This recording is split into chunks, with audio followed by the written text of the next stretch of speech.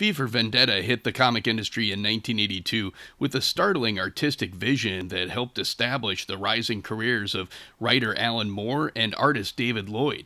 And in 2005, the Hollywood big budget film version of the book came out.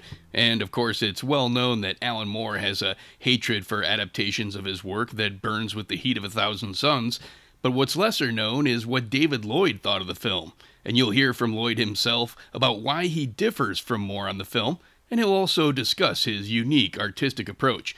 Coming up next. Hello, Heroes 4Kate here. You know, I've had the trade paperback of V for Vendetta in my collection since the 90s. I loved the book and really enjoyed the movie adaptation. So when I got a chance to talk to David Lloyd at Comic Con 2011, since he's known in the industry as one of the most flexible artists around who uses strikingly different art styles depending on the project, I asked him what his approach was with V for Vendetta. Uh, well, it's quite simple. I can I can describe it in a, in a very simple way. We were telling a story about a very stark, bleak future. Um, so, what do you what sort of style do you use? A stark, bleak art style. It was that simple, in one sense. But you need to have experience of those art styles that, that, that maybe could be transposed to that to that form. So I was a big fan of an artist called Tony Weare, who did a, a Western newspaper strip called Matt Marriott, where he used just light and shade. He didn't use any contour lines. Um, and also, I was aware of the work of uh, one of the great American uh, comic artists, uh, Jim Steranko, who had done this really great uh, crime noir uh, book called Chandler, where he had used, obviously, bouncing off that 40s tradition of uh, film noir,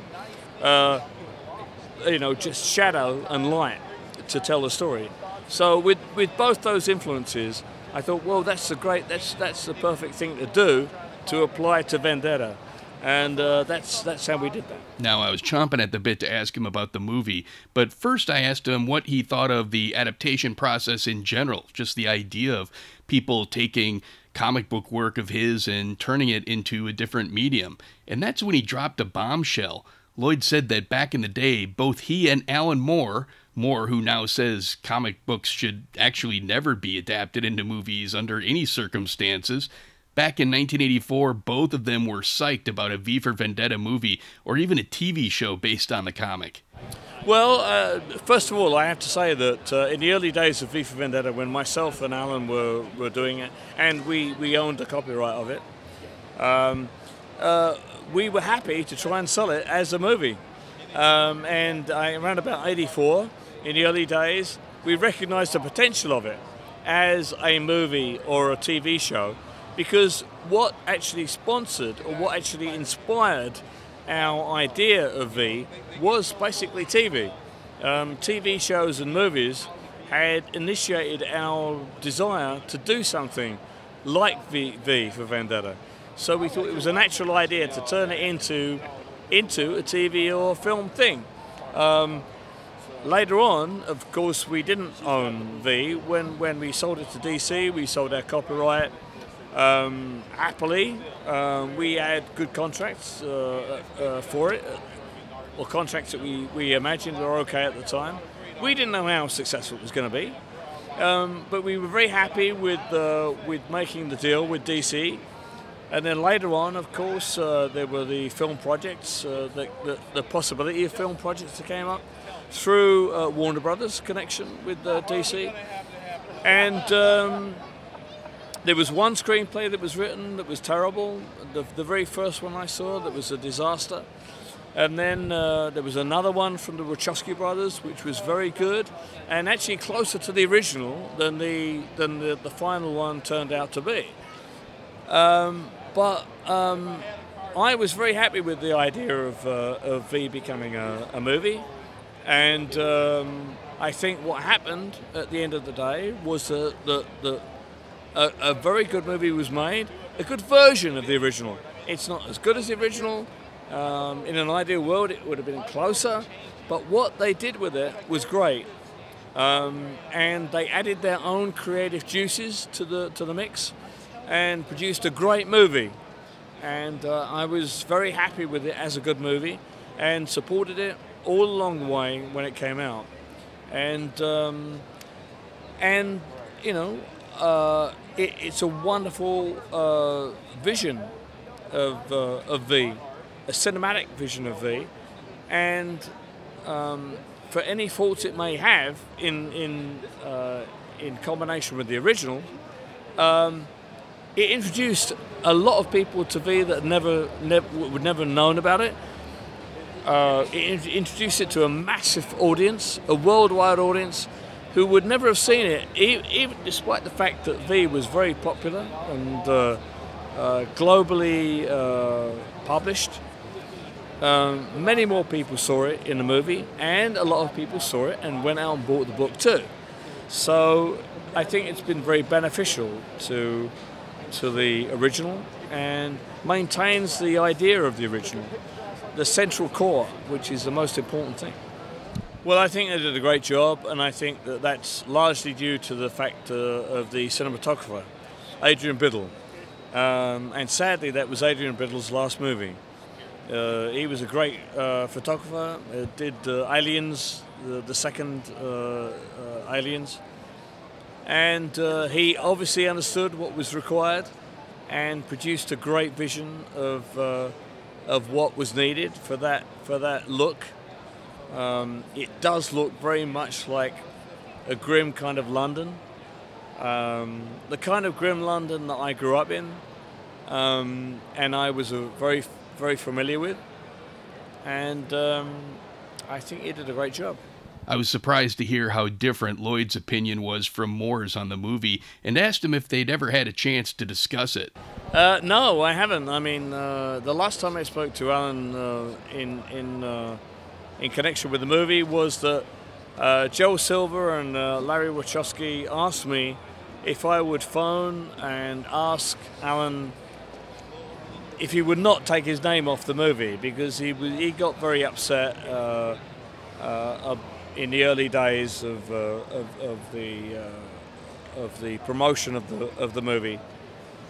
Um, and wanted to take his name off the movie, and, and I thought that was a bad idea um, because however you know however close to the movie uh, to the original movie was or not I, I thought it was important that the foundation stone of its of its original creation was on on the credits. And uh, and I said to Joel and and uh, Larry that uh, that I knew Alan well enough to know that when he makes up his mind about something you know he, you can't really change it very easily. But I, I, I, I wanted to, to do that favor for them. Uh, so I called Alan about it, and uh, you know I couldn't change his mind about it, um, um, which I kind of regret. But you know, they, Alan is his own man and is entitled to his uh, his own viewpoint, and um, uh, it's just one of those things. Since Lloyd and Moore had such divergent viewpoints on the topic, I asked him what he thought of Moore's anti adaptation position.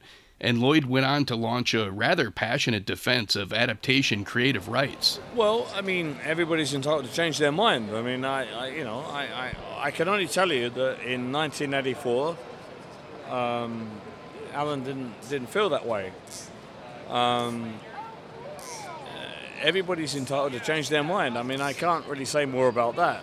Uh, my my viewpoint is that as long as uh, something is treated with respect um, and not abused, um, uh, then uh, especially the initial idea or the central idea of a concept is treated with respect then there's no reason why you can't make a movie of it. I mean, uh, David Lean made a movie of Great Expectations uh, where he changed the ending. Uh, it's still a great movie. Um, Blade Runner has absolutely not much or a little uh, uh, relationship to um, Do Androids Dream of Electric Sheep, but it's still a great movie. Uh, Stanley Kubrick made The Shining, um, which Stephen King hated so much that he wanted to make his own TV version of it. But Stanley Kubrick's The Shining is still a great movie. Um, I, you know, you either have that uh, flexible attitude or you don't. And um, I, I think that a lot of Alan's work beforehand, before V, From Hell and League of Extraordinary Gentlemen were, in my opinion, terrible, terrible films. And uh, had nothing to recommend them at all. Um, and in light of that experience, perhaps that, that maybe changed Alan's attitude. I don't know. Um, um, you know, I can only tell you my viewpoint, which is as long as what is produced from the original has the core, the key of what was meant, um, I'm happy with it. And and uh, of course, if I was in control, um, I mean, I my one of my latest works, uh, Kickback, a crime thriller. Um, this month, or not this month, but the in, in August, I will get back the rights to owning that myself as a movie option, and um, uh, I will be in control of that.